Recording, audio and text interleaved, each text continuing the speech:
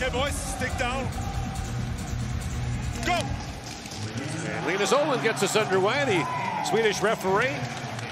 Italy 4 3 and 1 all time against France, but their last meeting eight years ago. You have to make just one clean touch if you're Texier to get set up in the offensive zone. Wasn't able to do it. Uh-oh. Now it's stolen. In comes Frigo shorthanded. Frigo in scores! Luca Frigo's short-handed goal, and Italy has taken the lead.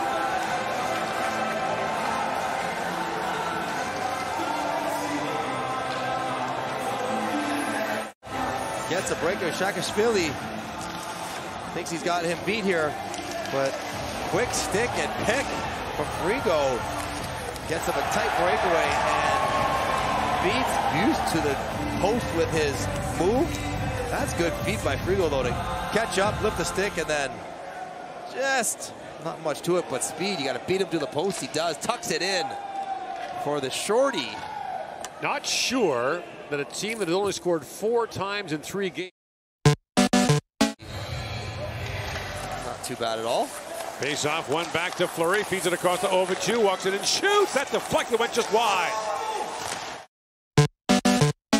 Back to Fleury, six skaters on five for the French. Ovichu for Fleury. Centers it, goes off the side of the goal, bounces right back to Rech. Fleury takes the return pass from Ovichu and shoots, score! Tipped in front by Sacha Treille. And with 106 to go, the French have tied it. The veteran Sacha Treille in his 12th World Championship with a huge goal for France. Good job by France setting up, being patient, and then a little seeing eye wrister. You're passing for the stick here. That's not going in. Just can't move Treille out of the way. So you send a puck to the far side of the net. Trust that Treille will tip it back five hole. Absolutely perfect execution. And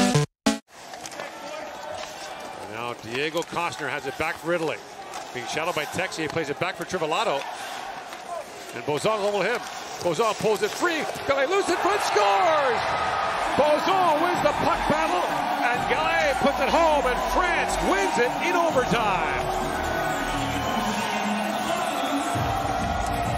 The forecheck. It's hard to do three on three. Trivellato here doesn't want this one back. Not sure where to go with it. Tries to protect it. Stick lift. Draw coverage. And then Hugo Gallet sneaking on down. Goes upstairs to win it in overtime for France. And they are pretty much ticket punched into next year's tournament.